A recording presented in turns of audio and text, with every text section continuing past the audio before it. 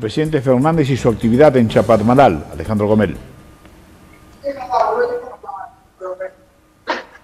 Alberto Fernández fue hasta Chapadmalal, lo hizo para conmemorar el 70 aniversario de la muerte de Eva Perón y allí habló, habló un poco de todo porque eh, se refirió a la inflación, dijo, por eso mantenemos abiertas las paritarias. También habló de los planes sociales y anunció que el próximo 5 de agosto va a haber un bono, una especie de aguinaldo para los planes sociales de la Argentina Potenciar que eh, cobran 22 mil pesos y habrá un bono de 11 mil pesos el 5 de agosto. Pero también se metió, por supuesto, con el conflicto que está teniendo ahora el gobierno, que se sabe, necesita dólares, no tiene dólares y los tiene que ir a buscar. ¿A dónde? Bueno, el gobierno tiene la hipótesis que eh, los ojeros, la gente del campo, está sentada arriba de los kilobolsas esperando una devaluación para hacer una diferencia aún mayor con el precio de la venta. Por eso viene apuntando allí el gobierno y el presidente Alberto Fernández. El otro día dijo, no me van a torcer el brazo.